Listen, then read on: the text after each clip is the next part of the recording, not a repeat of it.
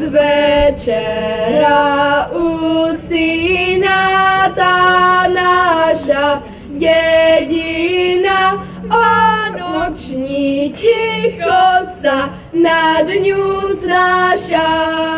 Čas radosti a veselosti, advent, přivítali v Bulharech stylově. První adventní neděle se nesla v duchu kolet a sousedského setkávání. Před tamním kulturním domem vedle obecního úřadu totiž rozsvítili krásně ozdobený vánoční strom. Dnes jsme měli rozsvěcování vánočního stromu, které pořádá národopisný soubor Hrozének. Eh, kdo se představil v programu? V programu se představili děti ze souboru i ženy. Jaká pásma si připravili? Připravili si vánoční pásmo, něco už ukázali v synagoze v Břeclavi a teď právě pilovali tak ty čtyři měsíce právě na toto vystoupení. V programu zazněly známé i méně známé koledy v podání dětského a ženského sboru při národopisném souboru Hrozének z Bulhar. Ty zaspívali u vysokého živého stříbrného smrku, který třetím rokem zdobí stejné jednoduché, ale velice efektní osvětlení, díky kterému je strom dobře viditelný ze všech stran obce. Jaký program jste si na dnešek eh, přichystali na rozsvěcení Vánočního stromu? Tak eh, ženský sbor při národopisném souboru Hrozenek si nachystal pásmo, které stvořil e, náš umělecký vedoucí pan e, Šulák, František. A takže my už jsme ho měli nachystané před dvěma lety, ale bohužel covid nám to jaksi znemožnil, tak jsme si dneska teda představili. Bylo to úplně nějaké jiné, než jsme kdysi zpívali, eh, že ty koledy byly takové, eh, že to mělo to takový zvláštní sled, ano, než jsme si na to zvykli.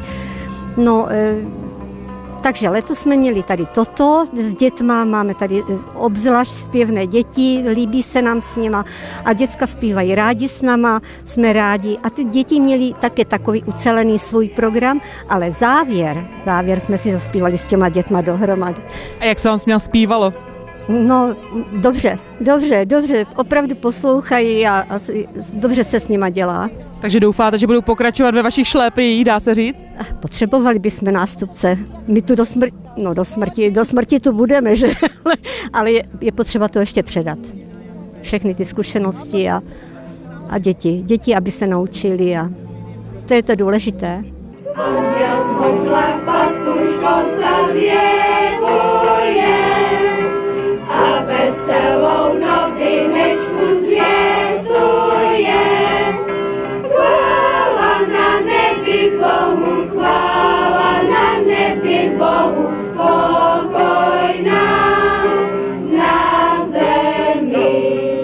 Také děti z Hrozenku si své vystoupení užili. Dneska jsme se nachystali s dětskama zpívání, kde bylo vlastně několik prvků zařazené, třeba sola, kanon, anebo takovéto věci.